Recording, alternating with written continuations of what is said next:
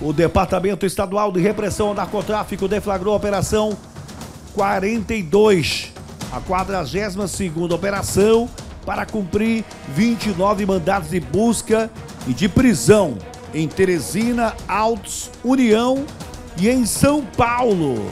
É, pelo menos 16 criminosos. Rapaz, é bandido demais, né, pai? Já é isso, hein, pai? Dos tempos pra cá, aumentou a população de criminosos, de bandido, né? Vão tomar de conta do mundo, essa desgraça.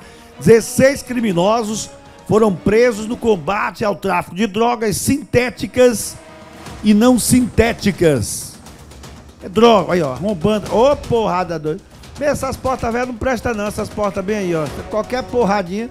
Essa porta bem aí não precisava esse negócio aí não. Eu, eu com uma pesada só eu arrancava ela em três pedaços. É. Essa porta é ruim, mesmo. É, e qualquer porradinha lá em pena. Acaba meteu aí, ó. Não precisava não. Aí o pessoal entrando na casa é muita coragem, né? Pra entrar na casa dessa daí, tu é doido. Se eu entrar de surpresa. Esse delegado tem coragem, esse delegado. Esse é danado, esse Samuelzinho aí. Ele é danado, esse delegado aí, ó. Ele vai mesmo pra cima, viu? Bicho tem Porque você não sabe. Você não sabe. Ele tá de toalha, né? Tá de toalha. É, tava de toalha aí, ó. Algemado.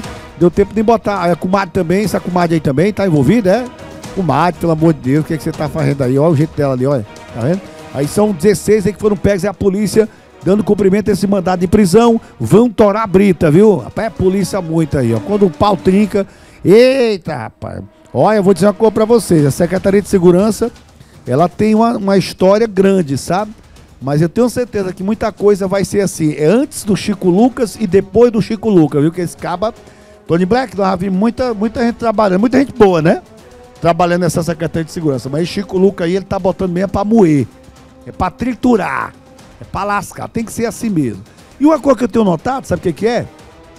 Que nessa gestão do Chico Lucas, a polícia está tendo mais autonomia, né?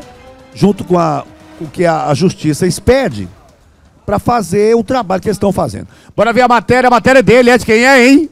É não, é? O francês Tony Deleblequet, que ajudou a construir a Torre Eiffel, está aqui com essa matéria para você. Ele é francês todo, né?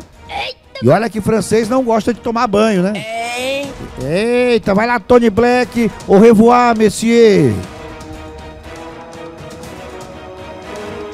A nossa equipe chega no DENARC e mais uma operação é realizada por esta especializada. E quem tem detalhes e quem vai falar com a nossa equipe, é claro, o coordenador geral, este homem que se encontra aqui, exatamente no banner da Polícia Civil do Estado do Piauí, Samuel Silveira. Nós estamos na operação de número? 42, Tony. Quantas pessoas presas até o presente momento, delegado? Até o presente instante, 16 presos, são 29 mandados é, que têm que serem cumpridos. A nossa, nossa missão é essa, mandados em toda a capital, Zona Norte, Zona Sul, Zona Leste, Zona Sudeste. O principal líder dessa associação já foi, já foi preso na cidade de Altos. Temos também mandado de prisão a ser cumprido na cidade de União e um outro no estado de São Paulo. Parte dessa investigação se refere à questão da droga sintética. O, o restante dessa investigação é pertinente a essas drogas mais comuns, como crack, maconha, cocaína. Nós tivemos prisões em Altos, a capital da manga. Exato, é, é, inclusive esse indivíduo preso lá, que seria um empresário do ramo de veículos, também que praticava a agiotagem, ele seria o líder dessa associação criminosa. Tivemos apreensão de armas? Uma arma de fogo confirmada até agora. Entre os presos, nós tivemos a participação de mulheres que todas as vezes uma mulher cai. Caíram quantas? Exatamente. Eu, se eu não estiver até enganado até o presente momento, três mulheres e de fato tem sido bem presente nessas operações uhum. ou se visualizar em flagrante mulheres realizando o tráfico ou em decorrência da investigação mulheres serem presas por força de mandado de prisão. Então é algo crescente e aí sim se pode falar numa progressão de, da presença de mulheres sendo alvos de, de operações e, policiais. E essa droga chamada sintética, no ver, no olhar clínico do senhor, é, tem aumentado, tem diminuído? Como é que está o combate a ela? Não dá para se afirmar que se tem aumentado ou diminuído, até porque esse olhar mais apurado ele é recente. De fato, nós temos tentado inserir no radar de investigação aqui do DENARC essa questão da droga sintética. Essa é a segunda operação que tem relação com a questão das drogas sintéticas.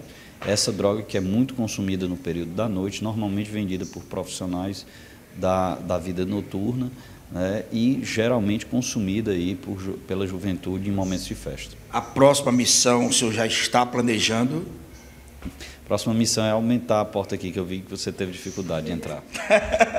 tá certo, então tem o delegado Samuel Silveira, ele falando, portanto, desta operação, mais uma operação na capital do estado do Piauí, na capital da Manga, e aí vários presos, é, uma arma recuperada, e agora a missão, é como ele disse, já está pensando.